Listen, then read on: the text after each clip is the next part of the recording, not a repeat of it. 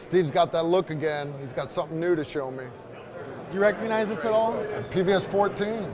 So not only is PVS 14, but we also came out with a new mount this year. Basically, it's a dual bridge, not only for PVS 14s, but also for a variety of our binoculars that, that we do. Basically, universal mount for it.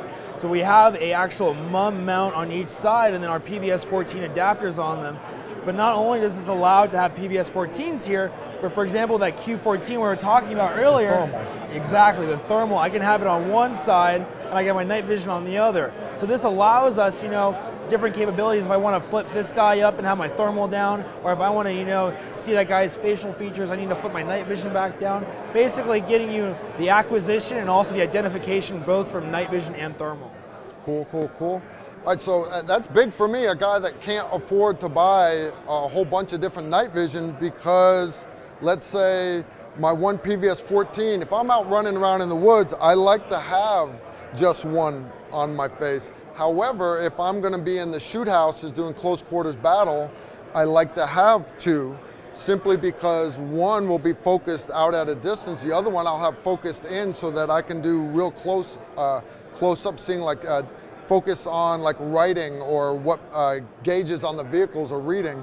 So now instead of me having to uh, buy a whole separate unit that's got two, uh, that's cool. Plus, by being able to add thermal to it, uh, that's awesome. Because let's say I'm going to be driving, uh, thermals don't see through glass. This isn't Hollywood. It's really not. I can't see through walls with thermal.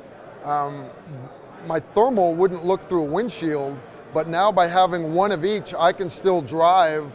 I can have the eye square on one side, I can drive, but as soon as I jump out of the vehicle, I've got that thermal capability on the other side. That, that's awesome. Now, uh, the, the having one be able to flip up, that's the first I've ever seen of that. I've seen some bridges before, but that's that's that's cool that you can flip one up to the side. And, not, and so basically right now we have a Wilcox mount on it, so any LG 24, any kind of Wilcox, you know, night vision mount will be able to mount to. But not only that, we also have our own proprietary mounts to for the Armasight products. Not only for, you know, the Gen 2s and the Gen 3s, but if you're looking to get to the Spark Core, you know, if you don't have the budget or, you know, if you want to get dual goggles without spending over, you know, a thousand bucks, this is a great option for you to go to because you have that same capability of adjustments. One goes up, one goes down. You can flip up the whole both binoculars. And if let's say you know you do upgrade in the future, you're still able to use both at the same time. Can't afford that good Wilcox mount right now. Do it down the road. Yeah, and you know it's just the same as quality. So if you know, even though if you're moving down to this lower end, you're not sacrificing a lot. Awesome, awesome, awesome.